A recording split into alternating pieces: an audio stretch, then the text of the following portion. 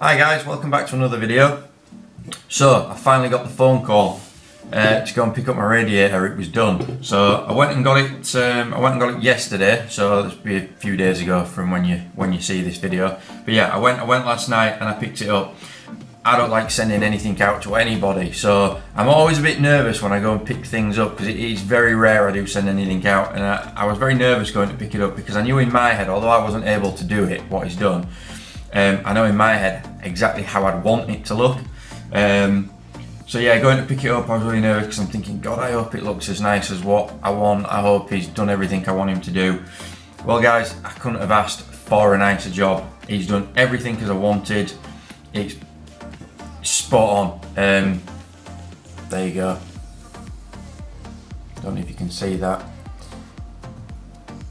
The weld is put up there because the, the, the top and he's re-cored it basically. Sorry, he's re-cored it basically. So that's the original top. That's the original bottom. Um, and what he's done it, the original ones, these top and bottom had all, loads of fingers that folded round all around there, around the car. Now obviously I knew he wasn't going to be able to unpeel all those fingers and redo that. I knew he was going to have to weld it along there, but you see some of these radio uh, radiators, sorry, on eBay and stuff that people have fabricated, and where they're welded, it's all rippled. They've got welds on like the size of my thumb running around, and they're all just, and yeah, they're not, they're not expensive, 100, 200 quid. They're not, you know, they're not expensive, but they look messy, and because I'm wanting to try and get this as concours as I can, as I keep saying.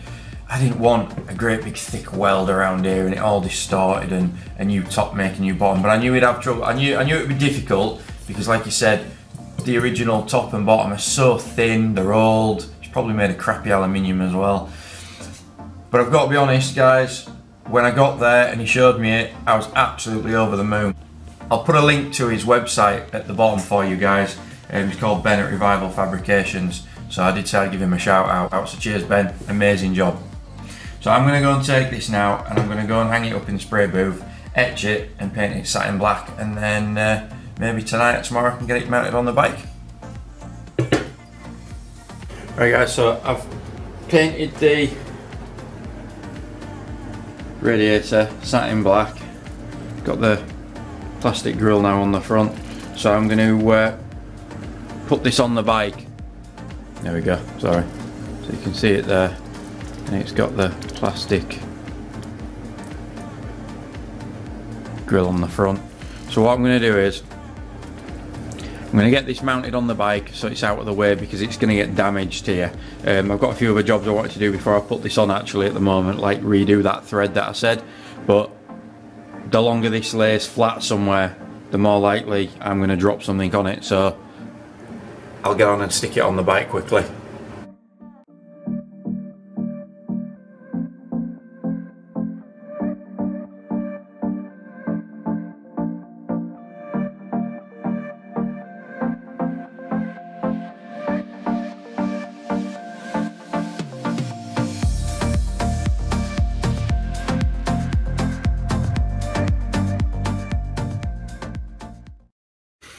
Right guys, I've got a few things hooked up now. So I've got the radiator on, it's full of coolant, it's got gearbox oil in it. Um, I've gone around and checked everything's tight, plugs are tight and all that sort of things. I've gone around as many of the things I can check that I can. What I've had to do is, we've got it hooked up to an auxiliary fuel tank over there. Now I've put a fuel ratio mix in that of uh, 20 to 1. So it said in the manual you can do it starting it up without the oil pump running because we haven't got the oil pump connected. If you look down here, the oil pump's disconnected because I need to bleed that. But before I can bleed the oil pump, I've got to do the coolant. So it says once it's up to temperature, you've got to blip it four times and check. So I've got that to do. So the oil tank's got to come off anyway. Um, so it's safe to run it on the premix up there. And I, I've used the it says anywhere between 20 to 1 and 50 to 1 so I've done it on 20 to 1 the more oil the better I feel um, some people might disagree but we don't want any problems um, so yeah so I'm babbling I've hooked up the old ignition barrel for now. I've just sort of plugged it in where it should. It's not mounted on because it needs, this bit still needs restoring, but that's in there so I can turn it on. The, that I showed you in another video, the clock cluster and everything is on. Um, it's only a few bolts through there as you can see there. It's just so I could connect all the wires up um, so everything will hopefully run, on most of it. Um, bodged up some fuel line to it. This is genuinely guys the first time that I have tried to start this bike since I've had it and I've had it nearly five years now I was looking back I've had it nearly five years not only have I nearly had it five years as I said in my very first video it's been like 28 knocking on 30 years since this bike was actually taken apart. So it has never been this complete in 30 well 28 30 years. So I'll show you here. I'll show prove to you that it's cold. My hands are all over that exhaust pipe.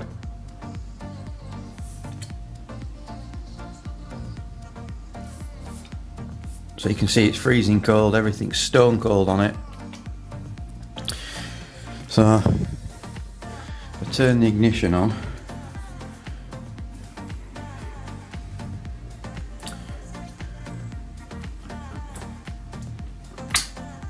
There we go guys, that's the first time those lights have been lit for a long time. Honestly. I'm excited. Here goes.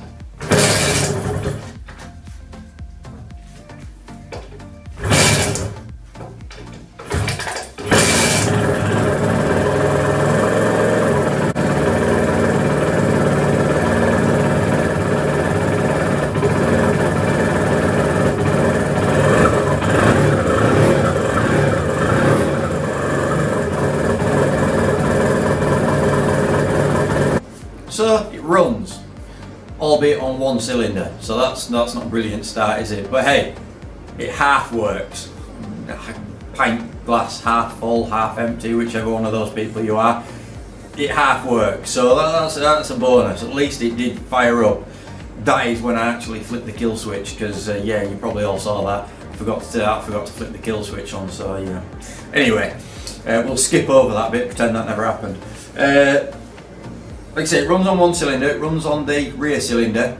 Um, did a little bit of testing off camera because it was boring for you guys. To be honest, I forgot with all the excitement, I forgot the cameras over there. The battery died as usual. Need to get another battery sorted for the camera as well, so I will do that. Um, did a little bit of messing around on it. It was doing some weird and wonderful things. Uh, the you could hear one of the spark plugs. I'm presuming on it was on the cylinder that was actually working um, it was the CDI units, it runs off two CDI units, one for each cylinder, and it was obviously telling it to fire the plug, the spark plug all the time because you could continuously hear the spark plug firing.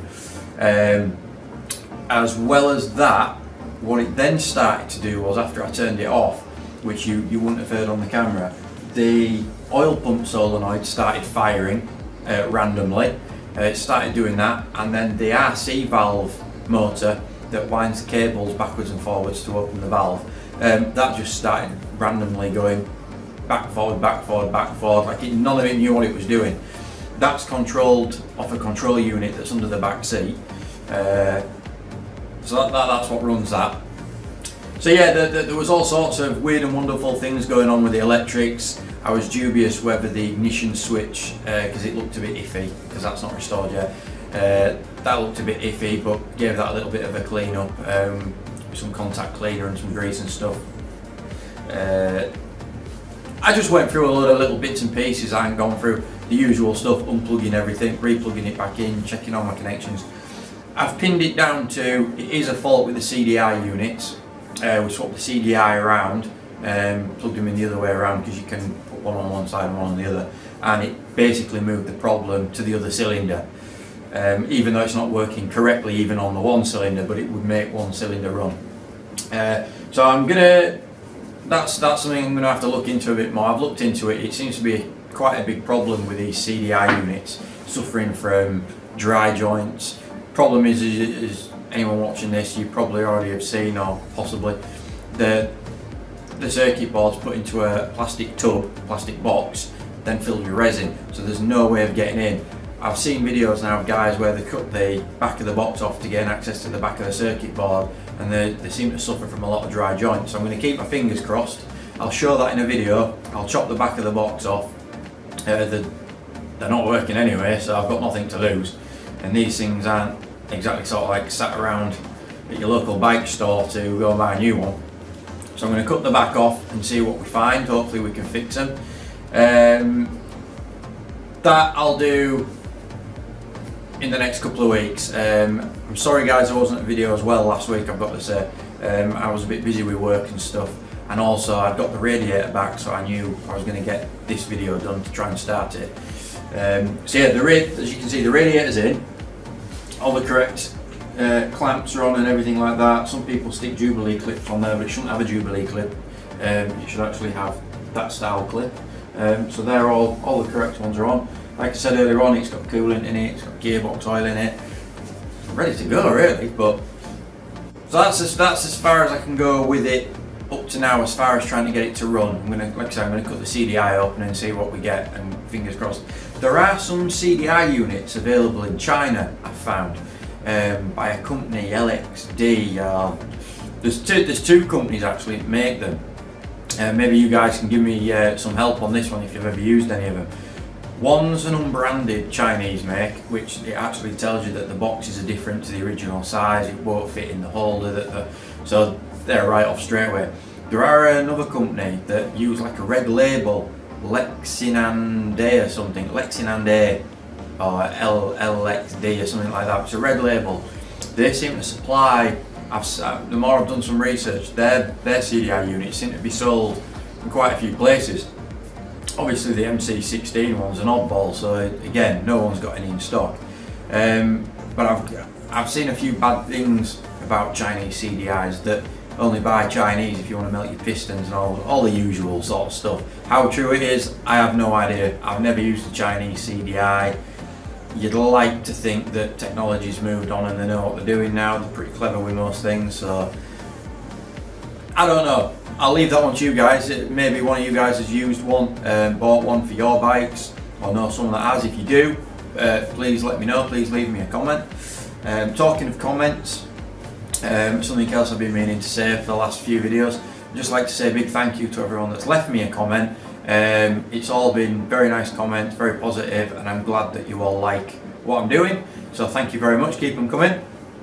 Um, and yeah, going back to this for now I'm just going to carry on. I'll, I'll cut the box open and show that in a video. But I'm just going to carry on. There's so many little fiddly jobs to do. It's not like I've got nothing to do.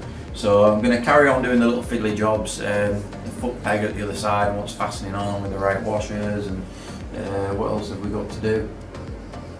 Um, there's all sorts of little bits. I need to source some handlebar ends the correct ones. I might end up having to make some because I can't even find any old knackered ones. I might have to make some of them on the lathe um, yeah, so it, it's getting there. Um, what I'm going to do on the next video, I'm going to start restoring the clock cluster. Um, I'm going to get that stripped down, um, get the metal frame blasted, get that painted gloss black again. I'm just looking at it, it's over there. I'll, I'll show you it actually.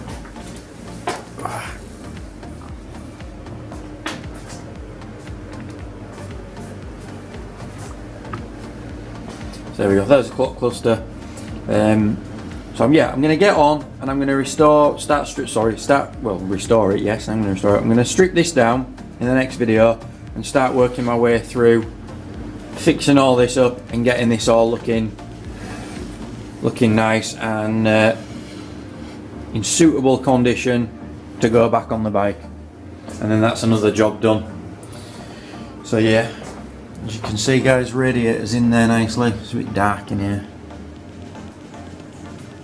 It's in there, like I say, I'm wobbling the camera, but proper clip there. I did that as well. Um, plated that and the bleed nut. Ignore this. This was just some uh, dodgy pipe I fastened on the other day to try and make, you know, fuel line.